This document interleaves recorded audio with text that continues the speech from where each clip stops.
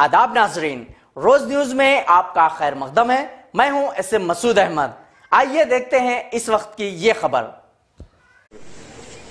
इस पेंडेमिक के पुराशुभ दौर में, जहाँ पर हमारे मुल्क में करीब साढ़े तीन लाख से ज़्यादा लोगों की अमवात हो चुकी हैं, और रियासत तेलंगाना में भी हज़ारों की तादाद में लोगों की मौत हुई है। अभी भी लोग अस्पताल में जेर इलाज हैं।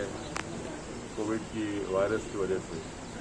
और खुशी इस बात की है कि डेकन मेडिकल कॉलेज से फारिग जो हमारे डॉक्टर्स हैं, जो नॉर्थ अमेरिका में, यूरोप में, बरतानिया में, ऑस्ट्रेलिया में, और गल्फ ममालिक में जो है, उन तमाम ने मिलकर, अल्हम्दुलिल्लाह आज हैदराबाद में खुली कुतुब शाह पॉलीटेक्निक में एक 20 बेडेड यहाँ पर कोविड के पेशेंट्स के, उनके इलाज के लिए यहाँ पर एक बीस बजट टेम्पररी कहिए हॉस्पिटल की तरह यहाँ पर आगाज़ किया है, जिसमें माइल्ड और मॉडरेट कोविड के पेशेंट्स को यहाँ पर रखकर पूरा उनके लिए ऑक्सीजन कॉन्सेंट्रेटर्स का भी इंतज़ाम है, और डॉक्टर्स हैं, और पूरा यहाँ पे एंबुलेंस भी है, और उनका हेल्पलाइन नंबर है seven double three zero eight six seven triple two मैं फिर से कह रहा हूँ कि जिन हजरात को मौली कुतुब शाह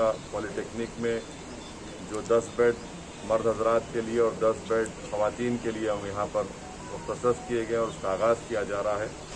उनका हेल्पलाइन नंबर है seven double three zero eight six seven triple two यहाँ पर एंबुलेंस सर्विस भी है तो जो कोई भी इससे इससे फ़ायदा हासिल करना चाहते हैं मेरी और फ्री ऑफ़ कॉस्ट है, इसमें कोई पैसे किसी से नहीं लिए जाएँगे। क्योंकि डेकन मेडिकल कॉलेज से जो हमारे काबिल डॉक्टर्स निकले हैं, जो नॉर्थ अमेरिका में, बरतानिया में यूरोप में हैदराबाद में, और हमारे अरब ममालिक में जो है, उन तमाम ने मिलकर इस, यहाँ पर इस सेंटर का आगाज़ किया है।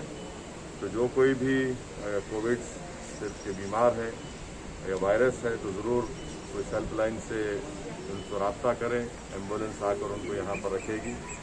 और एक बहुत बड़ा काम किया जा रहा है, मैं पूरे इन जिम्मेदारों का, इन डॉक्टर्स हजरात का दिल की गहराइयों से शुक्रिया अदा करता हूँ और अल्लाह से दुआ करता हूँ कि अल्लाह सुबहाना वाली इनके इस काम को कबूल करे और अल्लाह इनको और इनसे इस तरह के काम लें।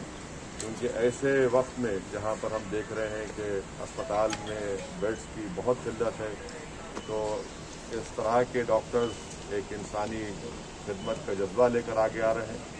इनको सराहना ज़रूरी है और इनके हिम्मत अफजाई हौसला अफजाई भी करना ज़रूरी है। तो मैं अपनी जानब से, अपनी जमात मजलिस इतिहाद मुस्लिम की जानब से इनके इस नए काम का ना सिर्फ़ खैर मुकदम करता हूँ, बल्कि उनको मुबारकबाद भी देता हूँ।